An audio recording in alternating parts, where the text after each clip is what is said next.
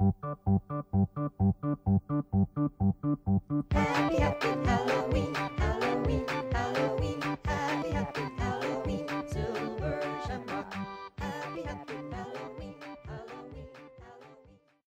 1982, the third entry in the Halloween series, Halloween 3 Season of the Witch, was released.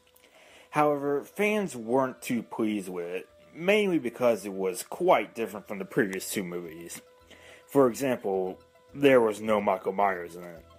The film initially failed, but in recent years, the film has been reappraised as one of the most underrated movies of the horror genre, especially in the 1980s. Which leads me to ask the question is Halloween 3 underrated? It certainly seems like it. Whenever this film is mentioned on the internet, it seems like people go crazy for it. While I wouldn't say it's the most underrated horror film ever, it is pretty good. I wouldn't even say it's the best Halloween movie. And it's really just different. I can understand why people were expecting to see Michael Myers back. After all, he had already appeared in two movies, so it was natural to expect to assume that he would be back.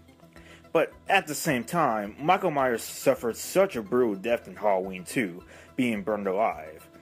And you could even make the argument that both Halloween 1 and 2 are really just one movie, since both events since the events of two movies take place on the same night, with Halloween 2 picking up right where the first one left off. The film, this film was directed by Tommy Lee Wallace, who edited, who actually edited the first film, and would later go on to direct Fright Night 2 and It.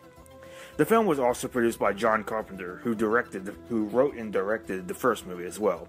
I think he also produced it as well, and he also provided the music for this one as well. And the music is quite possibly the best part about this film. It has a very creepy atmosphere to it, and it's just great. The film has a witchcraft theme, which is very interesting.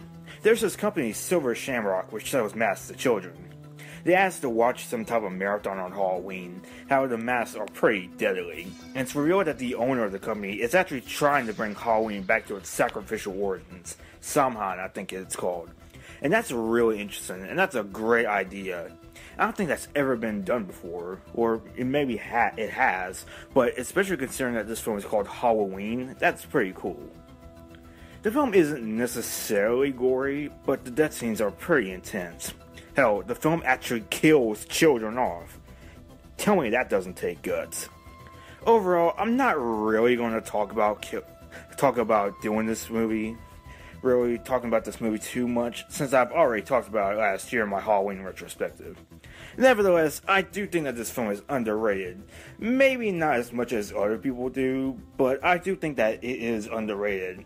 It's definitely worth a watch, especially this close to the Halloween season. So if you haven't checked it out, make sure you check it out because it's a pretty cool movie. I wouldn't say it's the best Halloween movie, but it is probably up there.